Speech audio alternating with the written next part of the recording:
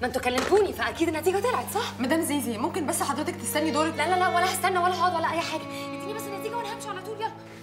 طيب هي ال blood test نتيجتها طلعت negative كده العملية ما نجحتش. sorry يا زيزي.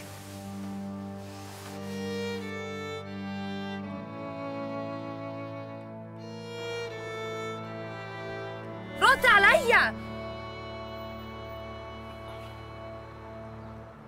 رد يا هشام في إيه؟ رد.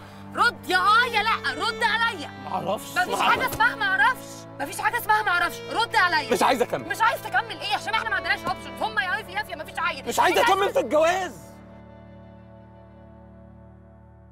مالك أنت؟ أنا عايزاه. إيه هو اللي أنا مالي؟ ده بيتي. وأنا مراته.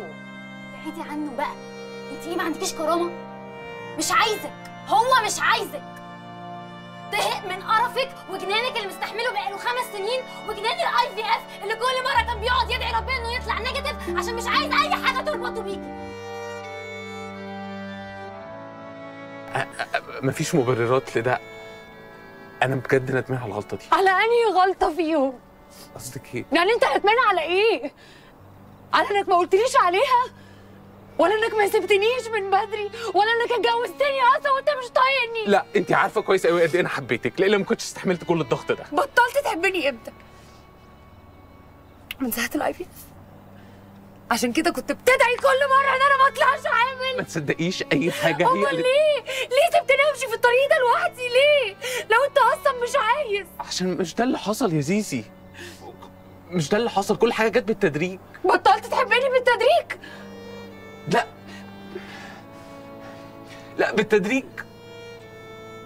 حبي ليكي ما بقاش كفاية إنه يشيل تعبي منك.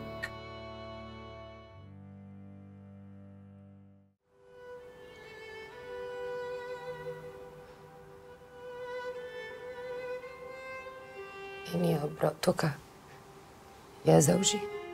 من مؤخر صداقي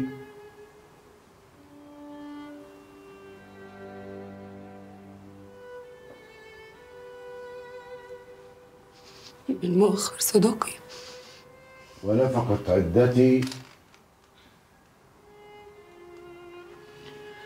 ونفقت عدتي. ومتعتي.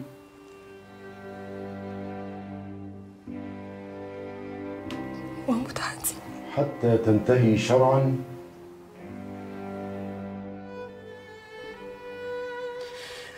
حتى تنتهي شرعا. وطلقني على ذلك.